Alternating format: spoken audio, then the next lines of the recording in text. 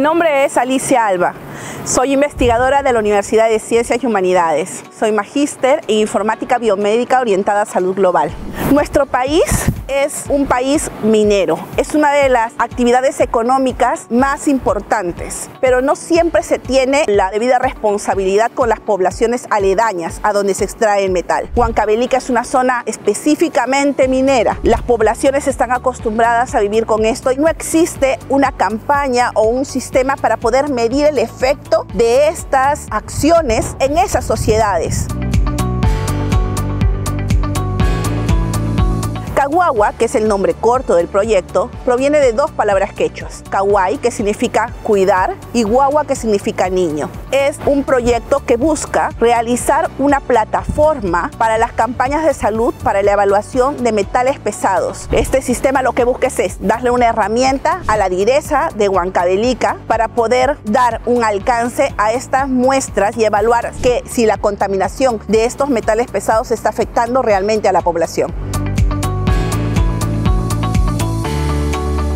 Proyecto nació en el 2017 como un proyecto interno. En el 2018 se ganó un fondo de Prociencia para hacer la investigación de una plataforma, pero para la evaluación de plomo. El año pasado culminamos esta investigación obteniendo muy buenos resultados. Este proyecto nació como una ampliación natural al proyecto inicial que busca ya no analizar un metal, sino cinco metales, que son, según la OMS, de los principales que dañan la salud de las personas.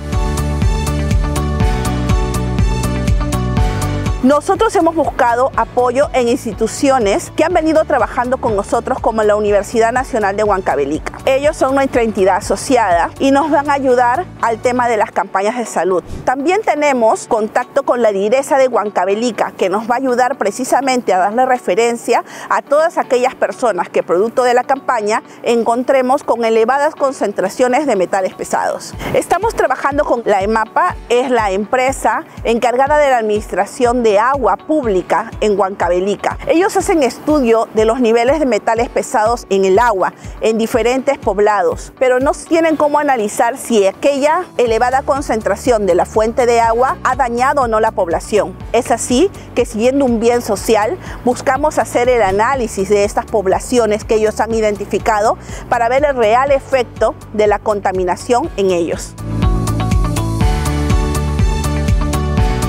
Las experiencias que hemos tenido acerca de la participación de estudiantes han sido muy positivas. Contamos con dos tesistas. Ellos van a ser parte del proceso de desarrollo y también van a apoyar en todo el proceso de pruebas. Vamos a trabajar con un tesista de sistemas y un tesista de ingeniería electrónica. Tenemos la certeza de que el espíritu de hacer investigación va a hacer de que los estudiantes que participen en esta oportunidad cumplan también los mismos objetivos.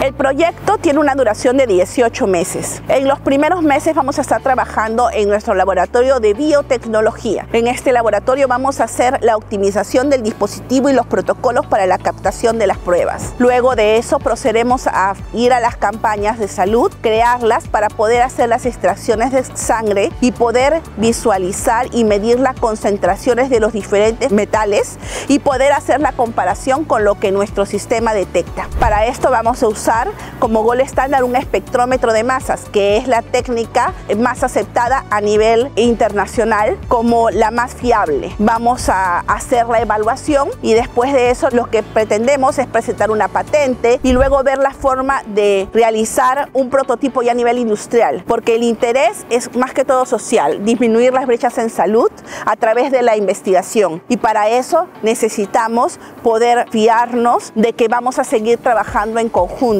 nosotros tenemos un fuerte compromiso como la Universidad de Ciencias y Humanidades a trabajar por eso, por la salud para todos.